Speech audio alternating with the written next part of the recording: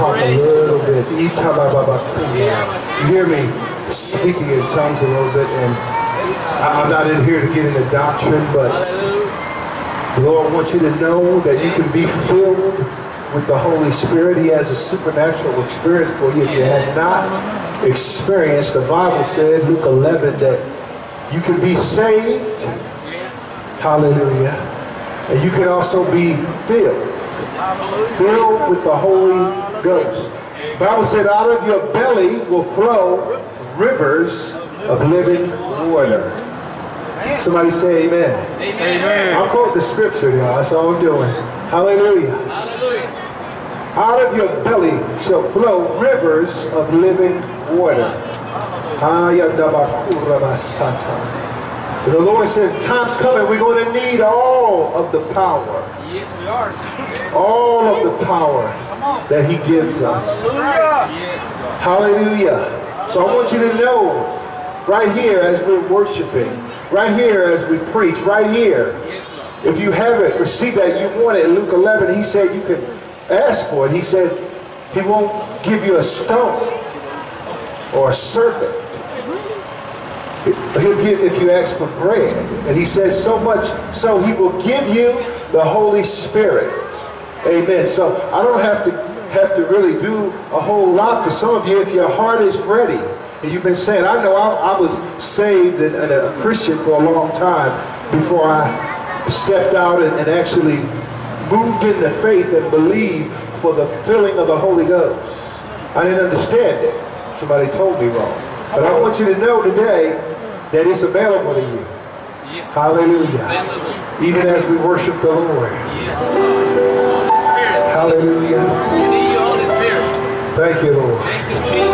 Share a little bit of a song Hallelujah. myself. Hallelujah. That uh, the Lord gave me, I wrote, and you don't have to sing, but you can pick it up if you want. Hallelujah. Now, my background was in uh, jazz, among other things, and so I, I started doing a little jazz in my Christian music. And so this song comes from the book of Acts chapter 16. Acts chapter 16. And I, I actually just, the words all just come, the whole story comes right out of that chapter.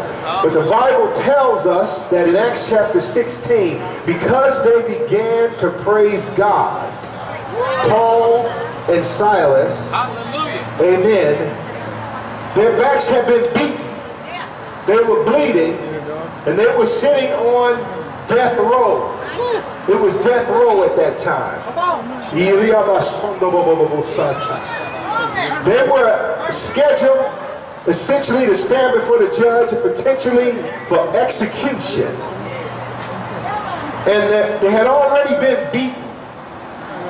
And then in Acts chapter 16, something amazing happened. They decided that they would just go ahead and praise the Lord anyhow. Can you say amen?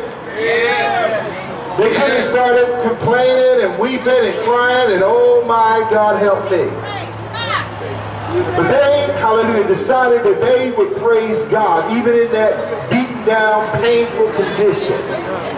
And because they did, the Bible says that God stepped in, caused an earthquake. Somebody say earthquake. Earthquake. Come on, y'all. That sounds like I didn't hear an earthquake. Earthquake. Hey, that's what I'm talking about. God stepped in, caused an earthquake, shook the entire prison, and all of the chains were loose. Not only did he release Paul and Silas, but he released all the prisoners. Can you say amen? amen? Hallelujah. That's a message to us. Not only will he release us, but he'll release even those around us if we will praise him on all times. The Bible said in Psalm 34 and 1, I will bless the Lord at all times. His praise shall continually be in my mouth. Praise God.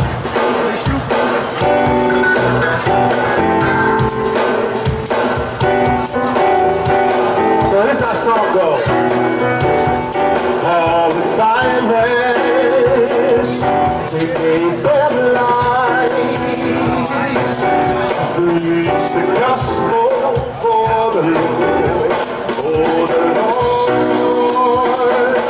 One day they were preaching, Macedonia teaching.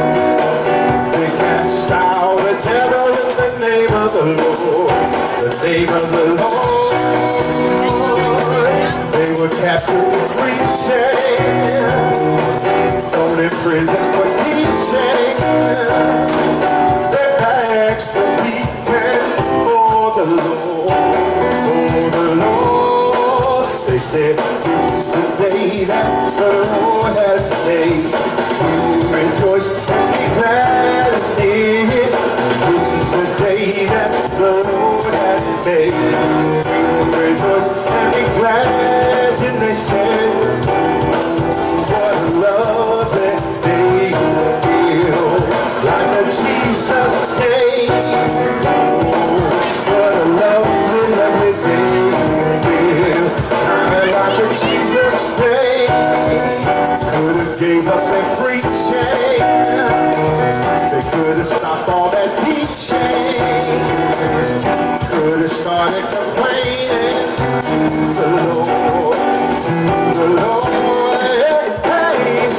but they looked at each other.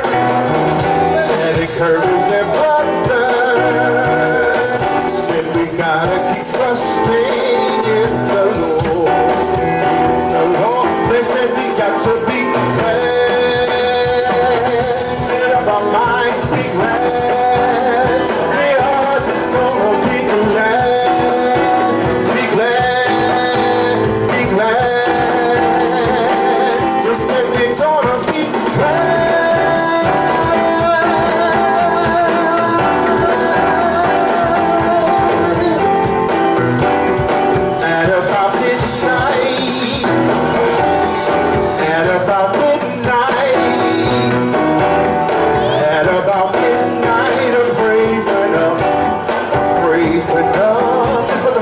Bible says. It was midnight.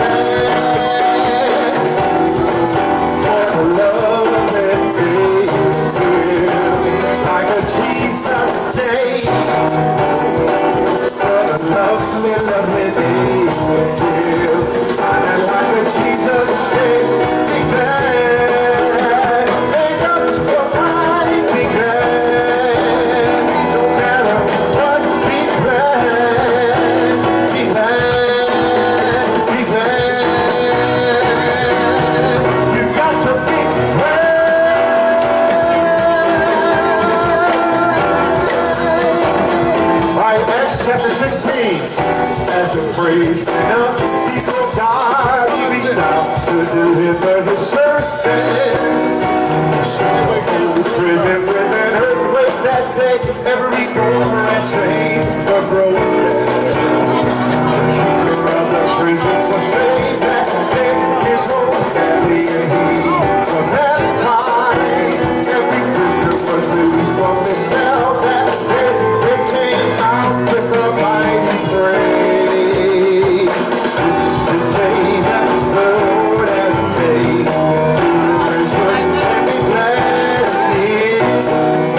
to be.